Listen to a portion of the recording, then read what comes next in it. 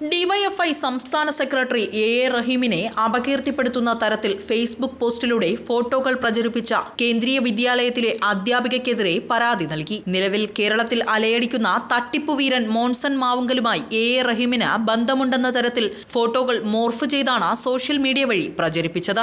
കല്ലറ സ്വദേശിനിയായ അധ്യാപികയ്ക്കെതിരെ രാഷ്ട്രീയ സംഘർഷമുണ്ടാക്കാനുള്ള പോസ്റ്റുകൾ സൃഷ്ടിച്ചതിനും നാടിന്റെ സമാധാന അന്തരീക്ഷം നശിപ്പിക്കാൻ ശ്രമിക്കുന്നു എന്നും ആരോപിച്ചാണ് ഡിവൈഎഫ്ഐ പ്രവർത്തകർ പരാതി നൽകിയിരിക്കുന്നത്.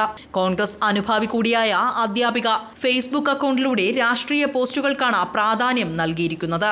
ഒരു തലമുറയെ തന്നെ നേരിന്റെ പാതയിലേക്ക് നയിക്കേണ്ട അധ്യാപിക തന്നെ ഇത്തരം തെറ്റുകൾ ആവർത്തിക്കുമ്പോൾ കുട്ടികൾ എങ്ങനെ സുരക്ഷിതമാകുമെന്നാണ് ആരോപണം. പ്രതികരണങ്ങൾ എത്തിയതോടെ അധ്യാപിക പോസ്റ്റ് പിൻവലിക്കുകയും ചെയ്തു.